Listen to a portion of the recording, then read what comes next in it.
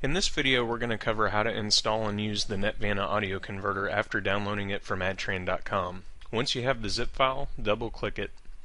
Using WinZip, extract all of the files into a directory named NetVanta Audio Converter. Next, open the new NetVanta Audio Converter folder where you extracted all the files and then open up the readme.txt file.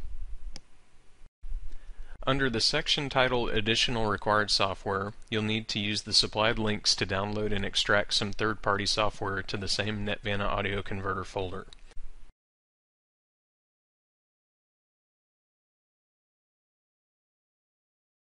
The first tool we're getting is the LAME MP3 encoder.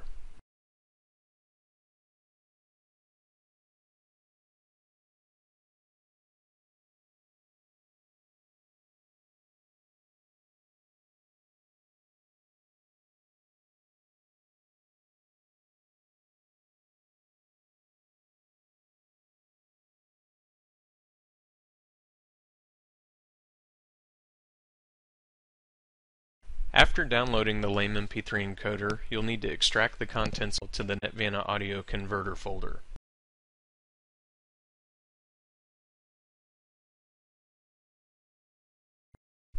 Next, we will download SOX from the supplied link.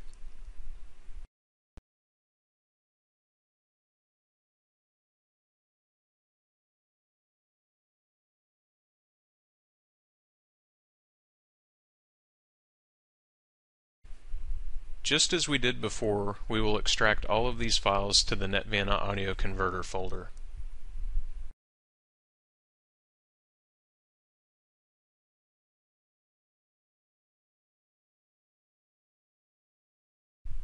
After everything has been extracted, navigate to the NetVanta Audio Converter folder. By default, SOX extracts files to a subfolder.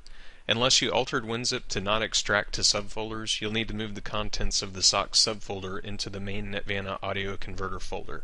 You can do this just by copying and pasting.